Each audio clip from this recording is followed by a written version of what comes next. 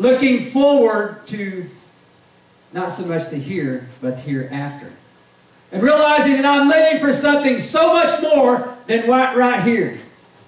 You know, a few weeks ago we talked about in Scripture where it says we are not to live unto ourselves. And when we realize that we're not supposed to live unto ourselves, who are we living as unto? Who are we living for? Are we living for self? Are we living for this world? Are we living for the present day? Or are we actually living for eternity? Are we living for God? Ask yourself that question. Think about this life and the choices that we make.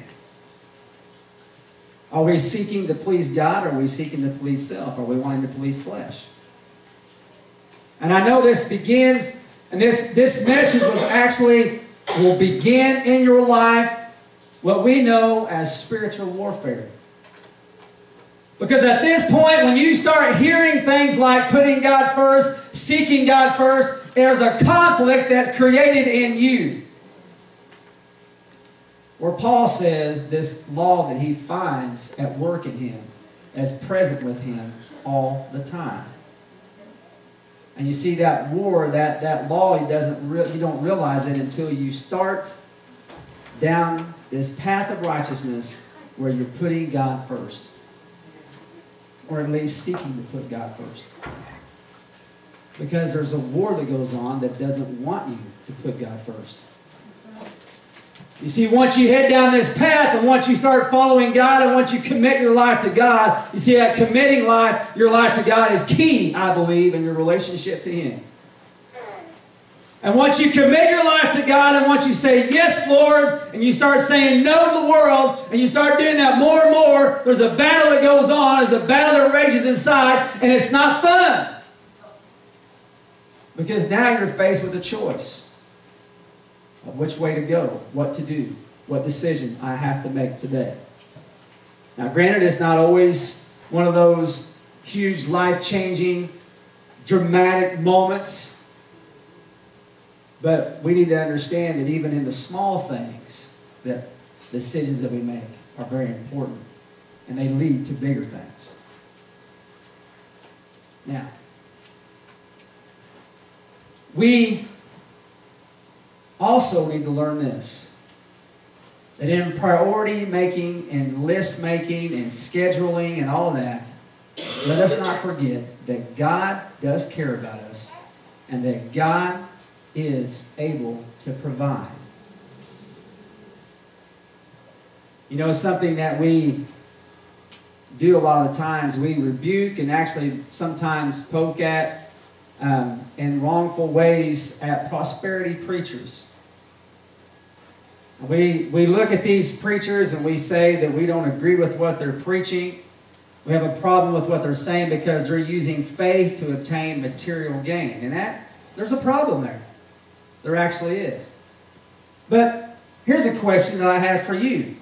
As you're rebuking prosperity preachers, are we in the wrong for not trusting God to provide? You see, there's a fine line there, and I'm not saying that we're trying to use God, as some would try to do, to get what they want. But in that other side of it, are we trusting God to provide for us? You see, down this road of understanding and putting God first, as we make priorities, the first thing we've got to come to realization is that we cannot do this on our own ability. That we cannot even get up and go to work on our own. Who rises you up in the morning? Who lays you down at night? Who watches over you while you're sleeping? Have you ever thought of that? You might be saying to yourself, well, I've got a secure job. I'm healthy. I've got it all taken care of. I've got a savings. I've got I've got a plan for my financial future. I, I know the job where I'm working at is not going to shut down, and so everything's great. But what if it does shut down tomorrow? What if something happens? I was talking to a man who just recently just passed away, which really shocked me. But when I, I started working with this man, he was working at this place for 25 years, building up a retirement and all that, and one day they came in and shut the doors. And The question is, I'm not asking you to be a negative thinker, but the question is, where do you put your trust? Are you trusting in your ability to think? Are you trusting in your ability to work? Are you trusting in your own financial security? I'm not saying that we shouldn't have a savings built up. That is something we should do. I'm not saying that we shouldn't plan for retirement. That is something we should do. We know we can't count on government entitlements to take care of us, can we? And we shouldn't anyway, but we know we can't because they're not going to be there much longer. And so we should plan for that. But in planning, who are you trusting in when that time comes? Who are you trusting in on your everyday provision? You see, we can make fun of prosperity preachers and we can say that they're wrong for using faith to gain materially, but are we trusting God to provide for us every day? Or are we one of those who worry? Now, in that perspective, let's take an honest look at things we value the most. Now, whenever we understand that God provides for us, do we then complain that God provides for us differently than what our culture demands? You're like, well, what's that mean? well, our culture that we live in has a different view of things that we need. What are some things that our culture, maybe you think, that we just absolutely cannot live without? You ever thought about it? A ring, ling, ling, I can't live without that. I mean, if, if we don't have our cell phone, I know people that's turned around and been late for work just go back and get their cell phone. Can't have it without it. You got, oh, my phone's dead. What am I going to do? And I'm not making fun because that's become, I mean, it's become a real, honest to goodness dependency.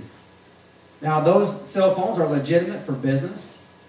They've definitely legitimate for emergencies and stuff like that. But whenever God doesn't provide for us a cell phone, are we going to complain against Him? Do you understand? Or maybe He doesn't provide for us our satellite television. Or maybe it's not the, the new this or new that. And we, we can go down that list if you want, but I don't see any. I, I do believe you, hopefully, believe that you understand where I'm going with this. Whenever God doesn't provide for what our culture demands, are we complaining against Him? And we overlook the showers of blessings that we need to count every day. The health that we have is worth more than money can buy the roof over our head, especially when times get cooler outside, clothing on our back, things like that.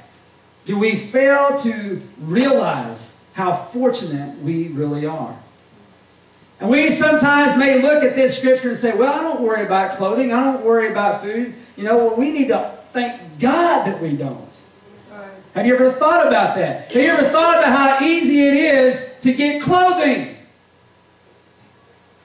Well, I don't get to go to Carnaby and I don't get to go to Kohl's and Sears and buy new clothes. Well, that's not what I'm talking about. It's so easy to be able to go down to a, will, a Goodwill store or a CDC or something like that and find clothes for a dollar. Yeah. I mean, I, I mean, some really nice clothes down there for a dollar. Have you ever thought what a blessing it is? Well, I'm just above that. Well, maybe you need to come down a little bit. Have you ever thought about what a blessing it is that we have food pantries around here? That if we are hungry, we can access those food pantries. We can access even the church today if we're really hungry and starving. And we're not just looking for someone to give us money so we can use it on something else. But we're actually, actually hungry and we can come to someone and they can have food to provide. Even those who don't have a huge bank account can still have food. That's a blessing. We don't worry about stuff like that. We shouldn't worry about stuff like that. That's a blessing to be living in a place, in a country where we don't. But in turn, we shouldn't take it for granted. We should be thankful. And we should give God praise that He does provide for us our needs. And that He's more than able to provide for us. Now, He does not promise to provide our wants. You may not get the video game, kids, sorry. You may not get the big screen TV like everybody else has. You may not have that brand new refrigerator or stove like everybody else has, but God provides for you a way to cook. God provides for you a way to keep your meat cool. And we should be thankful and we should give God praise Amen. and not complain when things don't go exactly like we want to. And we should realize this that God does provide. Amen. He does provide. Understanding this, we also need to realize, as I shared with you last week about how much God cares for us, God values us. Did you know that? You see, we also live in a time, and I'm not trying to dramatize this message more than I'm not trying to be this melodramatic and oh, we need to just build this all up. You know, I get tired of seeing all this drama on television. I don't know about you, but this, I'm going to get off on this a little bit of a tangent, you know. I try, every once in a while, me and Becky have a little fun watching game shows. And they bring drama on the game show where you're going to cry and get so worked up, and it's a game. and why? Well, I'm not trying to bring, build up drama here so you to get all emotional, but I want to share with you, and I hope that you realize this, that God does value your life. But we do live in a time where life is not valued, don't we? You know, Casting Crowns sings a song where it talks about save the trees but kill the children. Do you honestly care? I was thinking the other day, and I don't want to sound, I'm not trying to, I'm not trying to, to, to gross you out. But have you seen the video of the piles of dead babies that were killed before they were born? Have you, do you realize how many babies are being killed every single day? And I'm not just talking about little embryos that you can't see, because they're important too, okay? But I'm talking about late term. Babies that are ready to be born, that are left out on a cold, stainless steel table, and not even allowed to be tended for, to lay there and die. And we don't care. We don't care because we don't see it. But that's happening every single day. We are responsible for what's going on.